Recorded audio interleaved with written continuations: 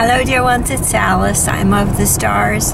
Um, I have a notion that the fact that moms have to keep on working after they have children, uh, after a few months, uh, and give their children to daycare or, or to a wet nurse uh, at that age may be contributing to the incidence of antisocial personality in our population.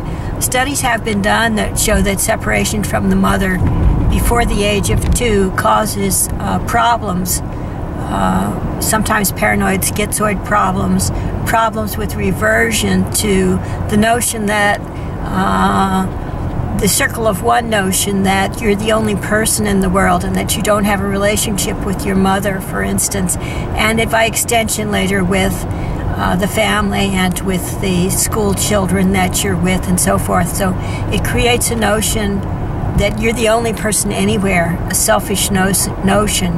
And, uh, and that's a defense mechanism from being separated from the mom. So I suggest that, that California uh, offer uh, some incentive, some means for mothers to stay with their children until they're two years old.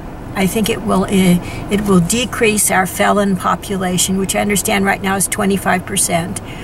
Um, so I think the felon population will continue to go down if mothers have a way to stay with their children through the age of tender age of two.